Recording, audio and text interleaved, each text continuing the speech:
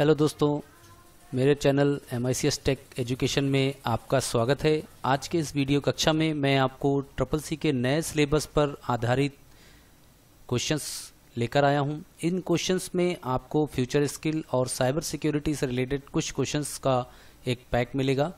इस क्वेश्चंस को हल करने के बाद आपको ट्रिपल सी के नए सिलेबस की कुछ तो जानकारी हो ही जाएगी प्लस दूसरी चीज़, इनमें वे क्वेश्चन शामिल किए गए हैं जो पिछले पेपर में आपको पूछे गए थे। आइए तो शुरू करते हैं।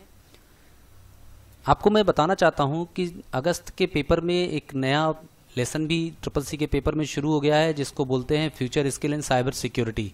तो उस पर कुछ टॉपिक्स दिए हुए हैं, उन टॉपिक्स को मैंने इस अपने वीडियो में कवर किया है। तो देख लेते हैं क्या क्या है वो।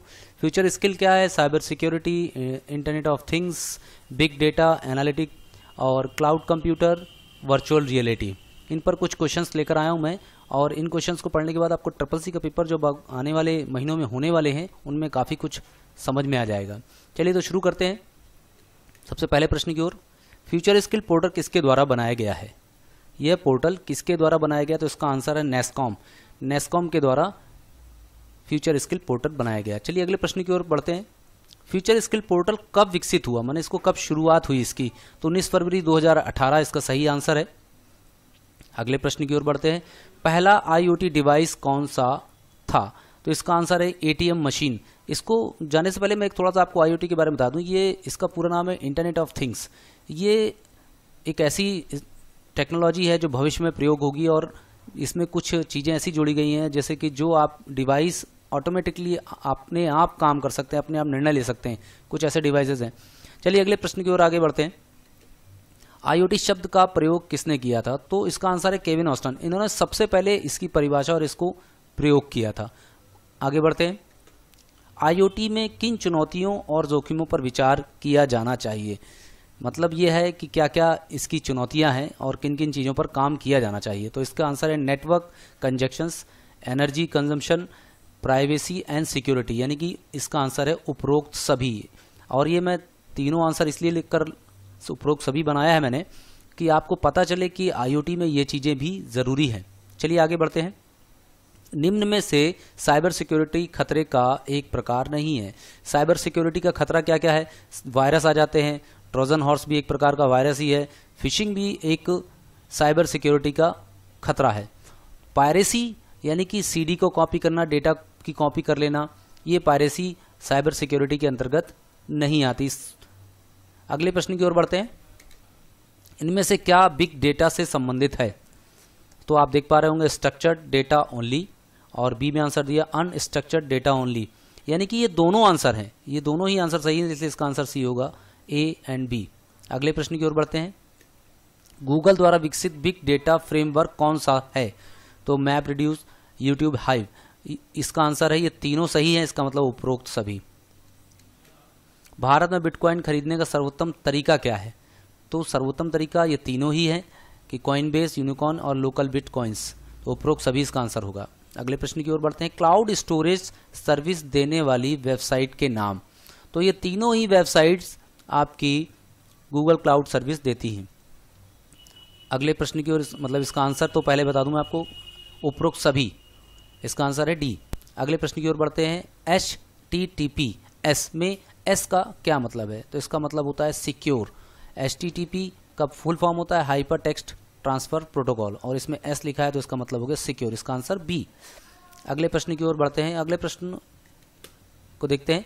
सूचना सुरक्षा प्रबंधन प्रणाली के लिए निम्न में से कौन सा आईएसओ स्टैंडर्ड है?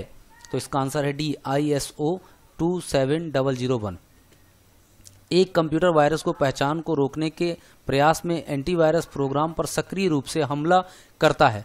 रेट्रोवायरस, ये वायरस का एक प्रकार है।